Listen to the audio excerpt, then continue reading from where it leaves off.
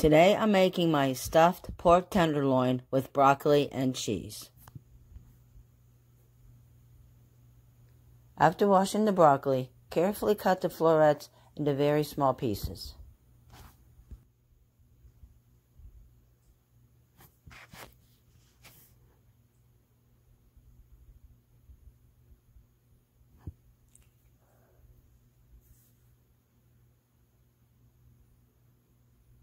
Now slowly slice the tenderloin lengthways, very thin, butterflying it until it's flattened.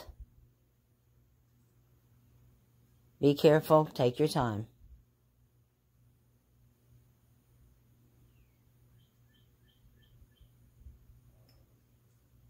Now season the pork with granulated garlic,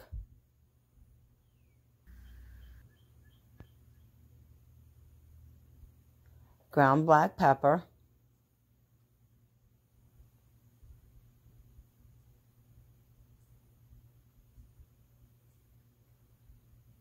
Himalayan sea salt,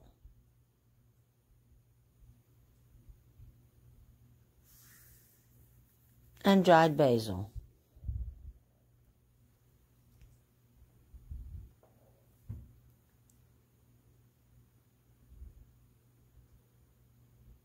Now cover that with a layer of cheese and then the broccoli.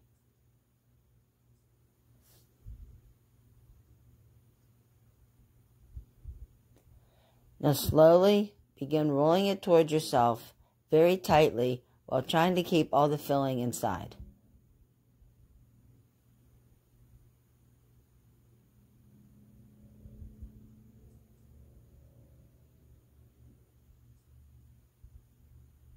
Now lightly season the outside with Himalayan sea salt, some dry basil,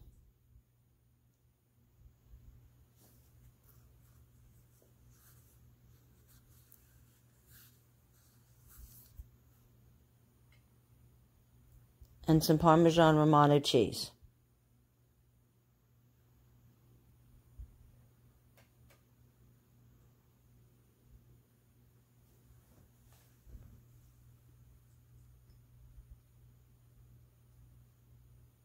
And then top it off with a slice of provolone cheese on top.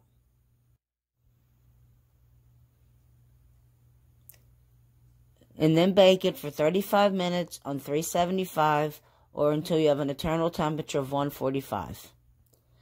After bringing the water to a boil, add the pasta, stir, and cook for about 10 minutes. Then drain it off, season with olive oil, seasoned salt, granulated garlic, pepper, and basil.